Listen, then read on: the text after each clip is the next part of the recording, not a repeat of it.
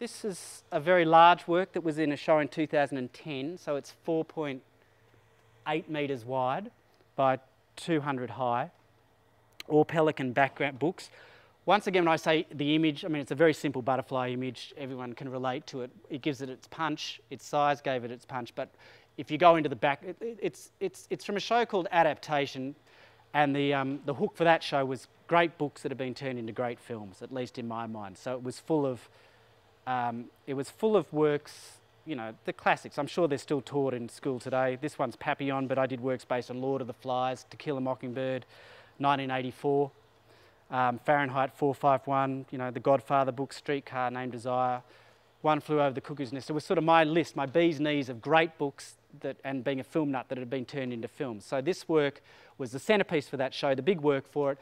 Nominally, it's based on Papillon, but I mentioned before there's a political element often in my work. It's, this is obviously heavily, you know, influenced by the concept of climate change, um, sort of the anti-science move, mood, which is sort of prevailing through the political spectrum on various levels. So essentially this was an ode to, you know, to science and a belief in science or at least a trust in science and not having it denigrated. So the background is Pelican books on history of evolution, all sorts of weather patterns, um, some reprinted, on the left you'll see some big um, Pelican book covers which I had reprinted on old drop sheets. So they were old drop sheets that are paint splattered and covered with all sorts of splatters, oil marks on them that look a lot like the foxing you get on old old book pages, so that added to their element. And then the left-hand side is built out of mm, maybe thousands, I can't remember how many stamps I used, but these are individual stamps, once again bought in pages and sheets off eBay.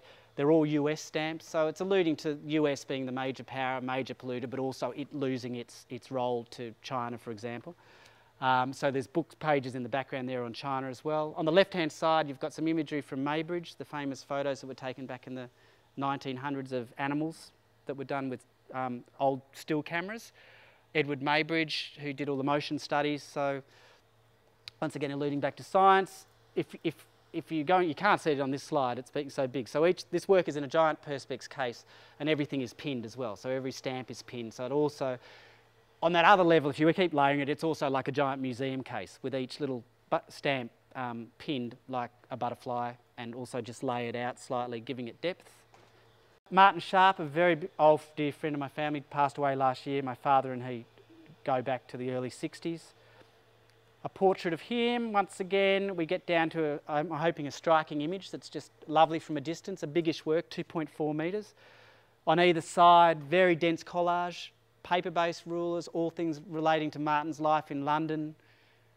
Um, the swinging 60s, the background is the Wizard of Oz, you know, once again, an obvious um, pun, but The Wonderful Wizard of Oz. Martin also gave me original Oz magazines.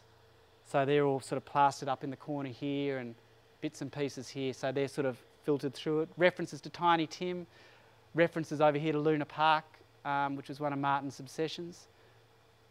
Um, very pop art. Martin was a huge influence on me as a kid growing up. Our walls were covered with Nimrod posters and all his stuff from the you know 70s, mainly 70s work portrait of my father from the Archibald a while back now.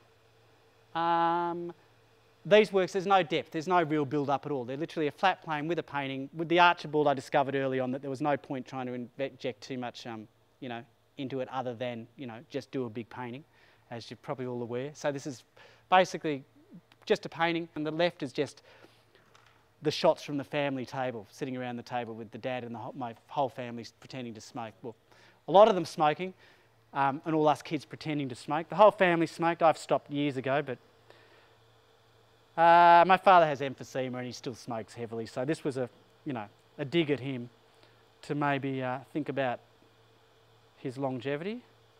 But quite a lovely work, quite a detailed work. But once again, you know, it's painted off an overhead projector. Another Archibald back portrait of my friend Aden Young. Once again, essentially a huge collage, 3.6, I think by 2.4. Uh, meant to be a, you know, a, Aden lives, was living down the road from me in Marrickville. It's a funny gag between, he's like a, he's a lovely, like a superstar, a movie star, living in Marrickville. Down the road, we share this, you know, go to the same daycare centre, go to the same place, and I just love that idea of the movie star you know, living an ordinary life, wandering up and down, frequenting the same, you know, shopping centres. Um, Le Metro presents up here is our local shopping centre. Uh, we lived on Addison Road, so it was an Addison and Addison production. Um, and the translation is Once Upon a Time in the Inner West. Um, you know, which is a play on him being, and the, the image is sort of a lift of a, of a poster of Steve McQueen from the 60s, a famous film.